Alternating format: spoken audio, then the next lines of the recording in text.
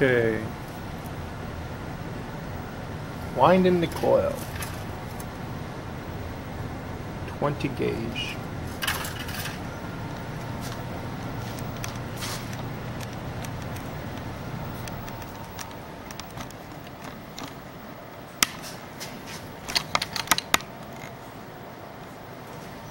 And begin oil wind up.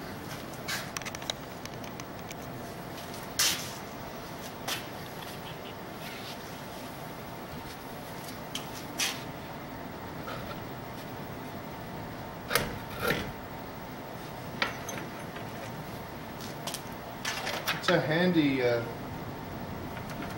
coil winder. I guess I built it the right height. I didn't have to adjust, adjust much. Hey, it's just um,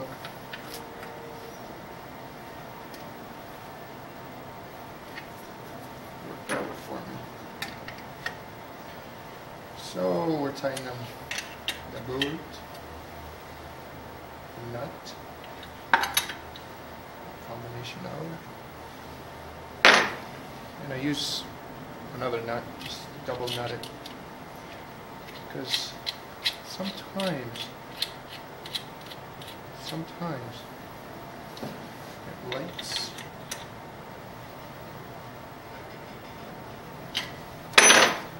Likes to let go. Where's my drill? Where's my drill?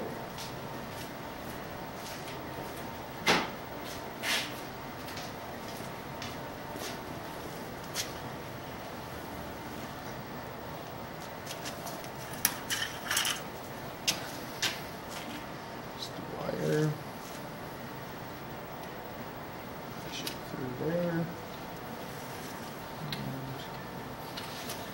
And there it goes. Get my handy dandy drill. And my counter is set. So now all I have to do count 100 turns. Okay? So it's going to go this way.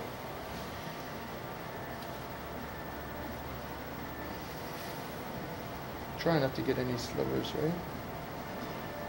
And if you do, pick them out quick. Okay, there it goes.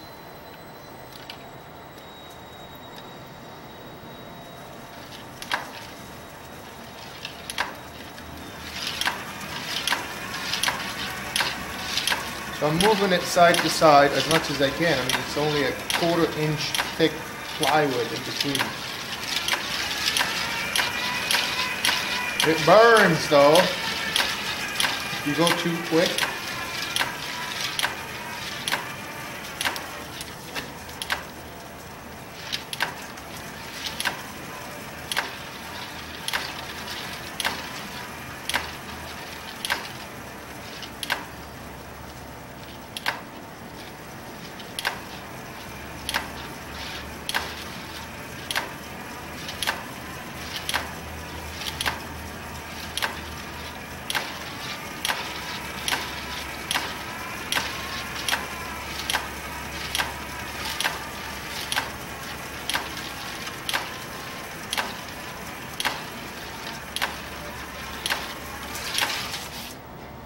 And it lets go on you. Because you're not paying attention. And then you have to unwind it. These are the errors that you have to be on the ball. So being on the ball is key.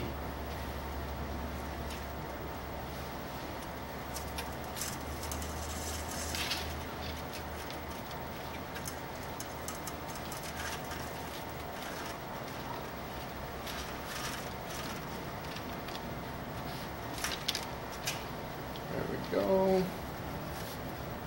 Put it back on track. Don't lose your cool. You lose your cool, and you're screwed, my friend.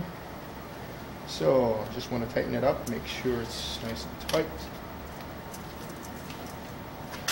There we go.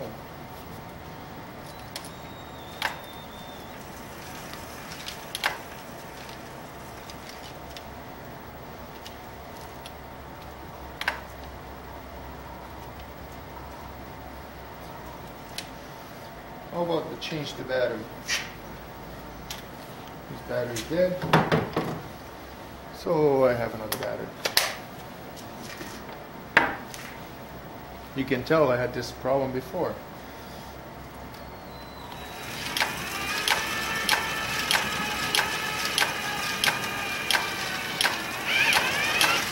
Whoa!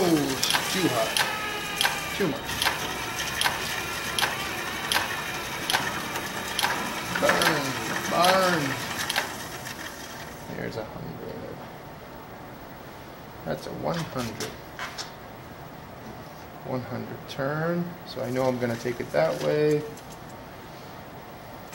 What do we got here? What do we have to cut it with? Usually cut it with a cutters, not a pair of scissors. But anyway, does the job. Let's move on. Move forward. There we go.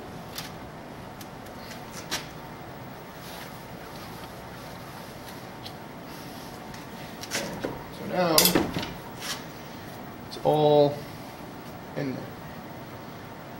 And this is how the tape comes in.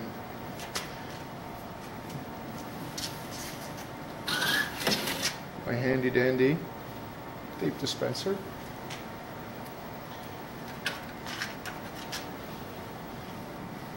The roller to fish the the tape through. Tape a little bit. Piece I've got toe, I say.